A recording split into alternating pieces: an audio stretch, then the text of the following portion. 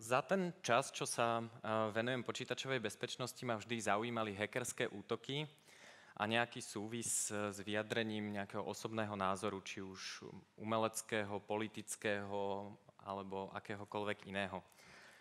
Ako príklad uvediem napríklad rozhorčenie mnohých ľudí nad spoločnosťami Visa a Mastercard, ktoré sa rozhodli neakceptovať dobrovoľné príspevky pre organizáciu Wikileaks. Veľa ľudí zareagovalo tak, že si stiahli software, ktorý zahlcuje tie servery tých, tých spoločností a snažili sa znefunkčniť tieto weby. To sa im síce podarilo, ale podľa mňa toto nie je taký veľmi dobrý príklad, hektivizmu a ako nejakej občianskej iniciatívy a dokonca možno ani nie úplne konštruktívne vyjadrenie svojho názoru. Oveľa lepším riešením tohto problému bolo, že Wikileaks použili alternatívnu menu Bitcoin, ktorá neumožňuje cenzurovať platby a je v podstate hodnotovo neutrálna. To, ako sa my obyčajní ľudia, bežní ľudia dozvedáme o tých hackerských útokoch je väčšinou z médií. Väčšinou nestihneme si pozrieť tú webovú stránku vtedy, keď je zrovna hacknutá. Takže ten mediálny obraz je veľmi dôležitý. Média väčšinou používajú také zvláštne slova, napríklad kyberteroristi, kybernetická vojna a digitálni zločinci. Na toto mám takú veľmi dobrú myšlienkovú, myšlienkový trik, že keď v médiách čítam nejaký článok na tému, ktorej rozumiem a je úplne na nič, nie že zjednodušuje, ale je naozaj úplný nezmysel, tak v tom médiu nečítam ani žiadne iné články o, o témach, ktorým nerozumiem. Šetrí to veľa času, skúste to.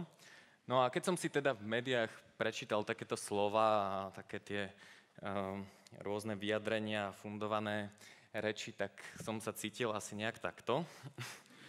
um, Všimnite si hlavne ten krásny uh, gičový stolík s kyticou, presne tak podľa mňa znie slovo kyberterorizmus. Takže ak niekde nájdete takéto slovo, tak neodporúčam pokračovať v čítaní ďalej.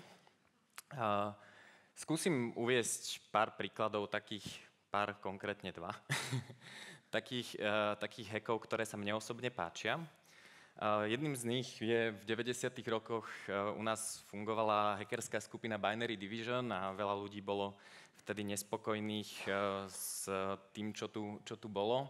A, takže takýmto nejakým spôsobom pretvorili hlavnú stránku HZDS, potom tam bolo nejaké pekné, pekné manifesto hackerské, ktoré bolo v tej, v, v tej dobe v móde. Takýto typ e, hacktivizmu by som možno prirovnal k online graffiti alebo k graffiti. Um, o tom, že či to teda je legitimná forma umenia sa stále diskutuje, predsa len niekto strieka na cudziu stenu, ku ktorej um, možno by nemusel ju ničiť alebo niečo podobné. Pozrime sa teraz na také aktuálnejšie. Um, v Čechách funguje um, umelecká skupina Stohoven, možno ste o nej počuli, preslavili sa najmä tým, že vo vysielaní Českej televízie pirátsky odvysielali výbuch jadrovej bomby nad Krkonošami, čo vyvolalo takú pomerne zaujímavú diskusiu o, o médiách a o tom, že či sa takéto veci môžu robiť alebo nie. Um, ako som hovoril, um, veľmi dôležitý je ten obraz v médiách, ale keďže predmetom kritiky boli samotné médiá, tak um, bol, bol týmto spôsobom nejako ovplyvnený. A členovia z toho ven hovoria o svojich takýchto akciách prevažne vo verejnom priestore ako o mediálnej skulptúre. To znamená, že oni niečo spravia, ale to, čo si o tom myslia ľudia, um, veľmi ovplyvňujú tie médiá. No a teraz by som povedal niečo o tej, o tej morálnej reforme. Je to projekt, ktorého som sa zúčastnil tak, že som ukázal s kamarátom, členom skupiny z toho ven, aké jednoduché je poslať SMS správu z ľubovoľného čísla. No a odohrávalo sa to v takom špeciálnom českom úli. Ten český úl funguje tak, že tam chodia páni, ktorí sa volajú poslanci a zbierajú do neho peniažky z celej krajiny od všetkých nás. A um, odohralo sa to počas uh, vystúpenia uh, Davida Ráta v parlamente, ktorý bol obvinený z korupcie.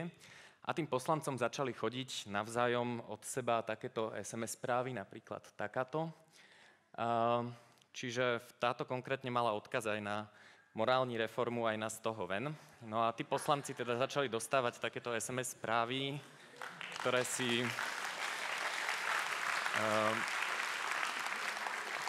nejakým spôsobom nevedeli vysvetliť, takže toho pána Ráta na chvíľu prestali počúvať a začali sa zaoberať o svoje mobilné telefóny. Média na to reagovali rôzne, väčšinou povedali, že hackeri napadli mobilné t- telefóny poslancov, čo je samozrejme úplný nezmysel, lebo na poslanie správy nepotrebujete napadnúť žiadny mobilný telefón. A dostali sa niektoré médiá aj k tomu, že povedali o nejakých konkrétnych, a, konkrétnych SMS-kách. A, tie si môžete pozrieť na webe, všetky. Je tam prehľad všetkých tých správ. No a tie idei boli rôzne, že mohli sme teoreticky skúsiť ovplyvniť hlasovanie parlamentu alebo niečo podobné, ale ten odkaz mal byť pozitívny, mal, byť, mal povedať to, že keď už sa ľudia teda nehambia, lebo tým politikom už kamaráti v krčme nenadávajú, lebo do krčmy, ak chodia, tak s ochránkou, tak spraviť taký iný, iný spôsob, ako možno si uvedomiť niektoré dôležité veci. A, takže a, toto samozrejme nebolo celé. Nasledovala výstava v kultúrnom centre DOX, ktorá spôsobila ešte väčší problém, pretože na takejto tabuli boli zverejnené telefónne čísla všetkých poslancov, vrátane pána prezidenta. A bol tam zavesený taký mobilný telefón, z ktorého ste mohli napísať anonymnú správu.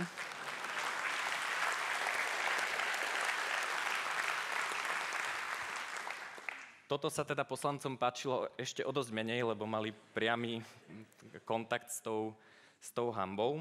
Uh, otázka, ako odlíšiť také tie zlé uh, heky, ktoré ničia a, a také nejaké pozitívnejšie, ktoré by sa možno dali považovať aj za umenie. Uh, hacker Eric Raymond povedal, že hackery veci vytvárajú a crackery ich ničia. Uh, tých heuristik je viacej.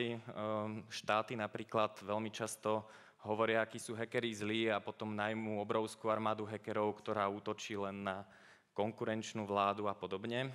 Veľmi dobrá, dobrá heuristika je aj, že či je to o tom ukázať nejaké svoje ego, že ja som dokázal spraviť nejakú takúto vec, ktorú veľa ľudí možno nedokáže, alebo je, to, je za tým niečo viacej, je za tým nejaký hlbší zmysel. Čiže toto sú také moje otázky, ktoré si ja osobne pokladám. No a taká základná kritika, ktorá bola od tých poslancov, keď sa zverejnili tie telefónne čísla, je, že, že prečo hackeri zo Stohoven, alebo teda členovia skupiny Stohoven nezverejnili svoje telefónne číslo legitímne. Môžete mi napísať nejakú peknú správu, tu je moje telefónne číslo. Ďakujem za pozornosť.